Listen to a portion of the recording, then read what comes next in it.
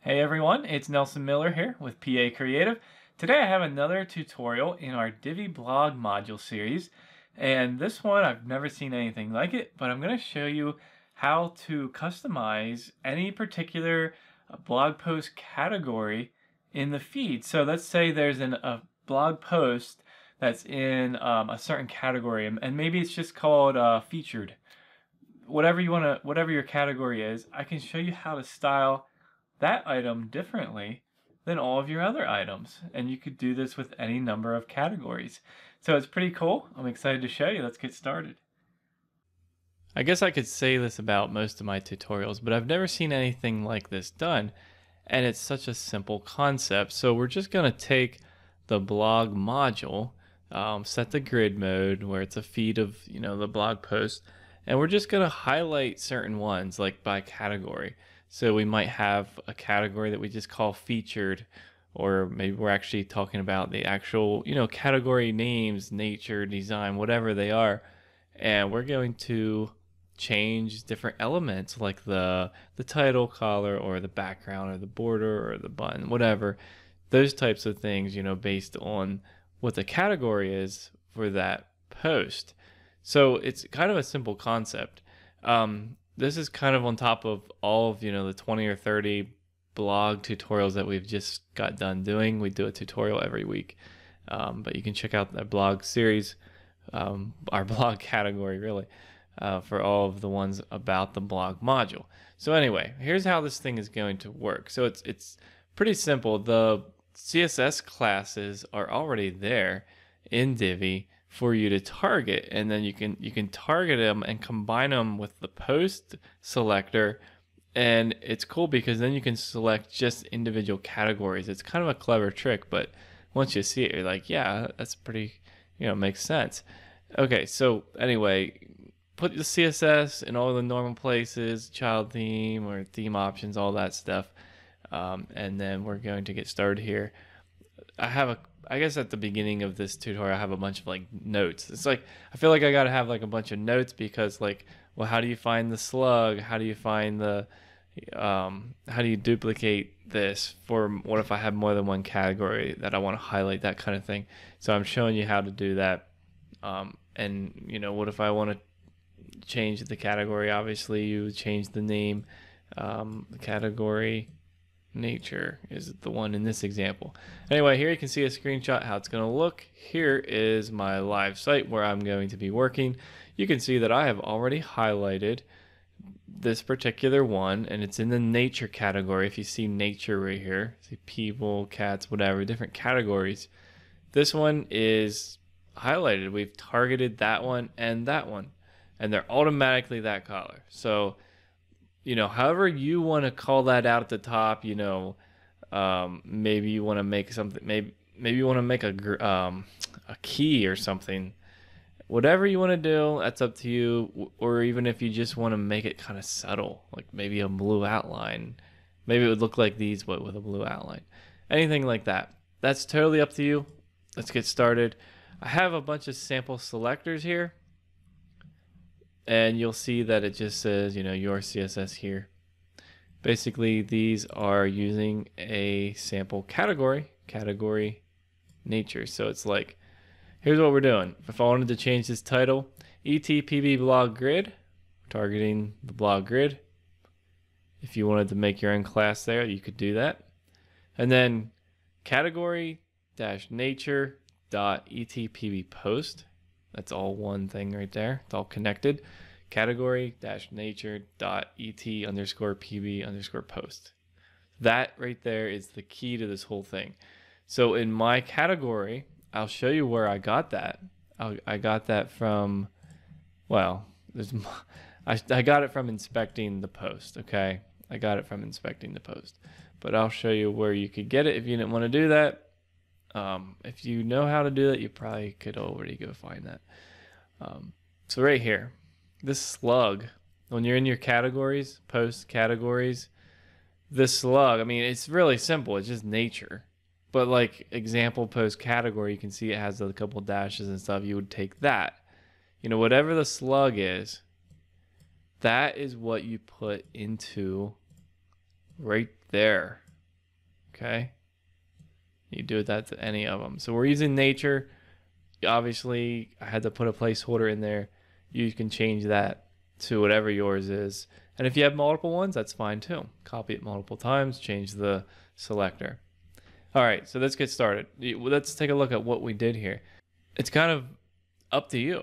Um, it's just the main thing is I'm giving you this base platform, and then I want you to do it on your own. I'm not going to give you everything. Um, I've been trying to at least slowly transition my blog a little bit more to teaching rather than just like here, take it and leave it. And that's great. And I love doing that. But at some point, you have to learn a little bit. And so I'm giving you the snippets as a base, and you can put in your own thing like background color. You know, if, if you need to be able to be writing that. So I'm gonna do it. I'm gonna I'm gonna get rid of what I have here. I guess. Um, let's see. Kind of hate to get rid of it, but okay. Here's what I'll do. I'll just copy that. Get rid of it, and I'm using a um, a tool here. It's a Chrome extension called User CSS. It just helps me see this live. But anyway, they're all the same again. Nothing's highlighted. So um, I am going to start from scratch and walk you through this. Let's say I wanted to highlight anything related to individual posts. I'm going to copy this one where it says entire post. Just click copy or you can select it all and go in here. Now, when I paste this, you'll see that there's in red, it says your CSS here. So for me, I want to change the border, the border color. I'm going to do that. Border color. And again, this is something that you are going to have to do. Um, I can't give you the styles because I don't know what your styles want to be. But look at that. Very subtle change. Kind of nice, isn't it? Very subtle. It's just the border color changed. That's all we did. And again, we did that by, we knew that the slug of all the posts in nature have that. So right here, category nature. Now watch what happens when I change this. I'm going to change it to cats. Because I happen to know that that was the slug for cats, the cat category. so there you go. Any of them that are related to that. Okay? So that's pretty simple. There's the concept right there and so now you can just take it and run with it. Now, obviously, if you change the background color, if I say right here, background color, and I, I do something dark, like black, right? Well, then obviously we have a problem, I guess. We need to change some other things. So let's, let's actually do that. Um, I'm going to go ahead and go back here to the, to the blog post with the stuff. I'm to copy the title. Okay, grab the title. Paste that in here. This is a good example. I need to change my my slug here. Cats, right? And I'm going to say for the title, I'm to say I want the collar to be white, which I'm to use FFF like that. And sometimes we have to use important. Like that. So there you go. I kind of had to change that because I changed the background. I had to create that contrast. Uh, the post meta might be okay. I'm going to let that one go. Another one that I would need probably is the excerpt. It's just a little. I mean, yeah, it's more than a little. It's hard to read. So if I do this one, cats again, and then I'm going to say. Oh, I don't know. I mean, I guess I could just make it white again. Yeah, it's a little dark whatever, light gray, something like that.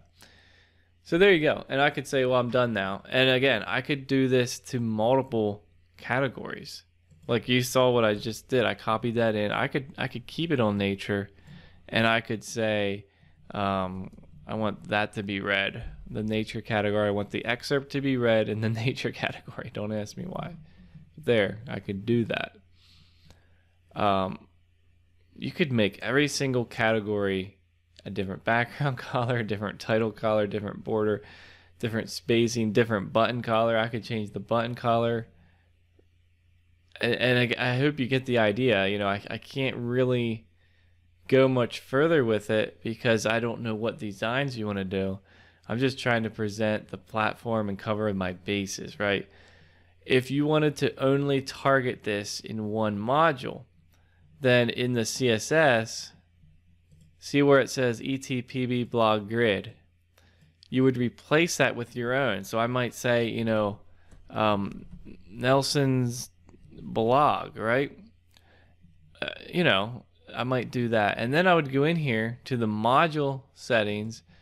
All right, so I go right here, module settings, open that up, advanced tab right in here, CSS ID and classes. Get rid of whatever we had there from a previous tutorial. Then I could say, you know, Nelson's blog right there. Boom. Th that gets highlighted because now I've I've targeted just this blog module. Now I could add a whole nother blog module without that class and it won't affect it. So that's one way you could just affect that. What else do we need to cover? Um, I think I covered it. You know, obviously using different ones, you're going to have to say, you know, category nature, category design, category cats, whatever. Finding the slug is really easy and you can I mean, okay, you could do that in the the inspector here. So if you if you come in here like this, right click, you get up this inspector thing, right? It's in the browser tools. So like if I if I highlight this, see how when I hover I highlight this. I'm not trying to teach you this in this tutorial, but right here you can see article. Great. We're selecting one article here. It gives the ID of that and then it gives a whole bunch of classes. So if I click in here, I can highlight them, right? So I highlighted them. Now watch what happens when we sort of, we're just to paste it here and examine what, what, what I've highlighted. So right here, ETPB post, clearfix, ET blog item, uh, the post ID, post type, the status is published. There's all these wonderful classes that we can target. Um, but the one that we really wanted was right there at the end, category cats. So you could inspect it and find that, right? That way. That's how you could find it if you wanted to do it um, the manual way like that. All right, so that is it. Go have fun with it. Change the border, change the image border, change the spacing, colors mostly, I guess. Do whatever you want to highlight maybe featured blog post or um, just make a color coded key thing going on there. All right, so there you go. Kind of a unique one there, but um, hope you guys like that, and maybe you can use it to, you know, feature some blog posts um, by author, whatever you want to do by category there. Uh, hope you guys enjoy it, like I said, and if you do, you know that this is the type of stuff you'll be getting here on this channel. Um, so follow along, and um, we appreciate it, and um, that's why I do it because you guys are enjoying and finding the content helpful. All right, well, we'll see you guys in the next video.